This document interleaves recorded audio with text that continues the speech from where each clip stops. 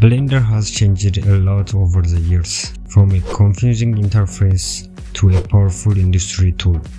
It has come a long way, but which version is the best? Is it the famous 2.8 update or is the latest version truly the best? Let's find out.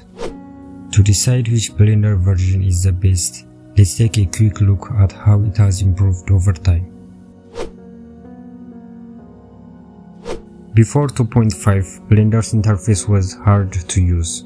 This version introduced a clear layout, making it more user-friendly, but it was still missing many features.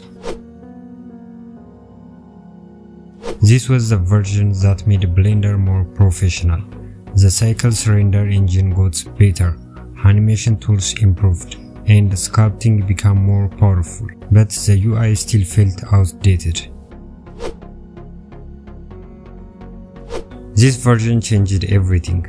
The interface was completely redesigned, making Blender easier for beginners. Eevee, a real-time render engine, was introduced. Grease Pencil became a full 2D and 3D tool.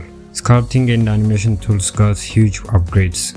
Blender 2.8 was a major turning point. Blender 2.9 improved everything from 2.8. It made cycles faster, added better sculpting tools, and introduced geometry nodes for procedural modeling. It was a more stable and polished version of Blender.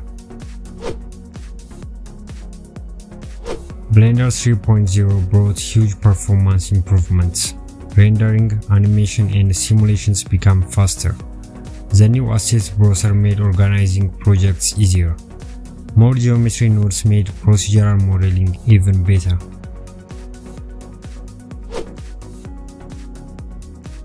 Blender 4.0 pushed things even further. Real-time rendering, physics simulations and animation tools improved a lot.